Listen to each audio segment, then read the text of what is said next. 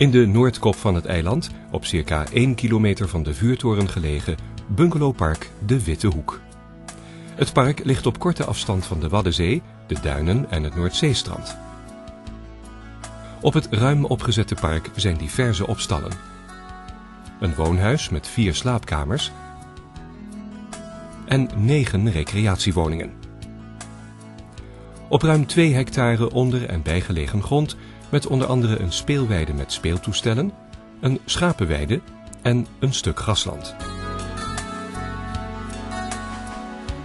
De recreatiewoningen zijn ingericht voor 4, 6 of 7 personen. De vierpersoonsbungalows hebben een keurig interieur. Via de entree komt u in de woonkamer met een deur naar het terras, de open keuken en twee slaapkamers.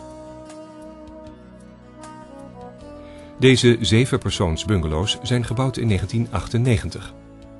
De woonkamer met eethoek is ruim en heeft rondom vrij uitzicht. De open keuken is van alle gemakken voorzien.